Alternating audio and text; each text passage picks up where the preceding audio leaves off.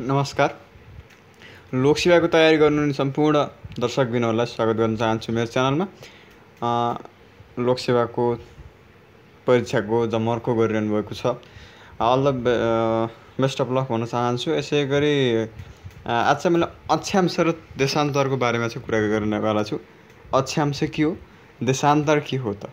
अक्षांशको कुराहरू इम्पोर्टेन्ट टर्महरू के के छन् त? र देशान्तरका इम्पोर्टेन्ट टर्महरू के के छन् त? कसरी लोकसेवामा सोध्न सक्छ त धेरै बृहत्भन्दा पनि सठिक सठिक तरिकाले कुन कुन इम्पोर्टेन्ट छ अक्षांश र देशान्तरको बारेमा म आज जानकारी गराउँदैछु।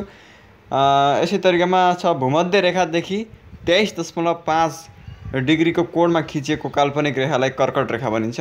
यसभन्दा अगाडिपट्टिको भिडियोमा मैले सोधेको थिएँ मकर रेखा अथवा भूमध्य रेखा रेखादेखि कति डिग्रीको कोणमा खिचिएको काल्पनिक रेखालाई चाहिँ मक मकर रेखा भनिन्छ भनेर सोधेको थिएँ यस्तरी सोध्छ तपाईँलाई क्वेसन भूमध्य रेखादेखि कति डिग्री कोणको कोणमा खिचिएको काल्पनिक रेखालाई कर्कट रेखा भनिन्छ भन्न सक्छ अथवा अनि भूमध्य रेखादेखि तेइस दशमलव पाँचको कोणमा खिचिएको रेखालाई के भनिन्छ भन्न सक्छ यसै गरी दोस्रोमा भूमध्य रेखादेखि तेइस दशमलव पाँच डिग्रीको कोणमा खिचिएको काल्पनिक अक्षांशीय रेखालाई अक्षांशीय रेखालाई अक्षांशको रेखालाई मकर रेखा भन्ने गरिन्छ ख्याल गर्नुहोस् भूमध्य रेखादेखि तेइस दशमलव पाँच डिग्रीमा कोणमा खिचिएको काल्पनिक अक्षांश अक्षांश चाहिँ हुनु त्यसलाई मकर रेखा भनिन्छ। यसै गरी नेपालको पर नेपालको अक्षांशको कुरा गर्ने हो भने नेपालको अक्षांश धेरै सोधिरहेको क्वेसन हो यो।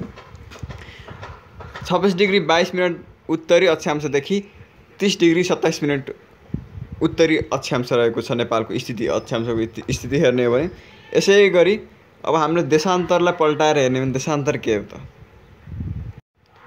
अब देशान्तरबाट सोध्न सक्ने क्वेसनहरू के के छन् भन्दा देशान्तर।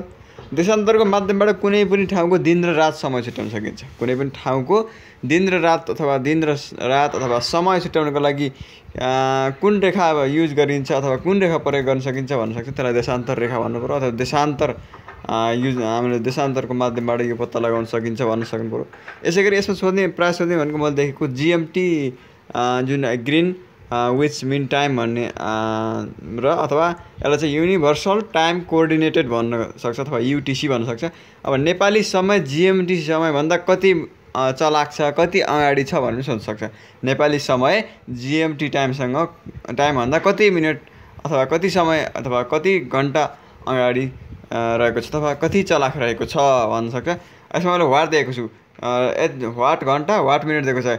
दर्शकबिन कमेन्ट गरिहाल्नुहोस् भर्खरै कति घन्टा कति मिनट अगाडि हाम्रो टाइम जिएमटी टाइमभन्दा अगाडि रहेको छ अथवा चलाएको रहेको छ। सबैले सिम्पल सबैले जान्ने क्वेसन हो कति घन्टा कति मिनट? मैले यसरी कुलु पनि दिएको छु घन्टा र मिनट भएर कमेन्ट गरिहाल्नुहोस् भर्खरै। र तपाईँको कमेन्टमा म हेर्नेछु कसले मिलाउनु हुनेछ यसै गरी नेपालको देशान्तर असी डिग्री चार मिनटदेखि असी डिग्री चार मिनटदेखि पूर्वी देशान्तरदेखि है। नेपालको देशान्तर हेर्ने भने असी डिग्री चार मिनट पूर्वी देशान्तरदेखि अठासी डिग्री बाह्र मिनट पूर्वी देशान्तरसम्म रहेको छ। असी डिग्री चार मिनटदेखि अठासी डिग्री बाह्र मिनट पूर्वी देशान्तर। अब यो त थियो देशान्तर र हाम्रो अक्षांशको एउटा जानकारी। दर्शक पनि अरू पनि जानकारी चाहिएको छ भने लाइक गर्नुहोस् यो कमेन्ट गर्नुहोस् यसै गरी यो च्यानललाई सब्सक्राइब गर्नुहोस्। नजिक रहेको बेल आइकन बजाउनुहोस्। लोकसेवामा आफ्नो सिट सुनिश्चित गर्नको लागि तपाईँले यस च्यानललाई सब्सक्राइब गर्न सक्नुहुन्छ सेयर गर्न सक्नुहुन्छ। वान के सब्सक्राइबर पुगिसकेपछि म अनलाइन आएर पढाउने कोसिस गर्छु। यसको लागि चाहिँ तपाईँले प्रयास गर्नुहोस् भन्न चाहन्छु। Thank you.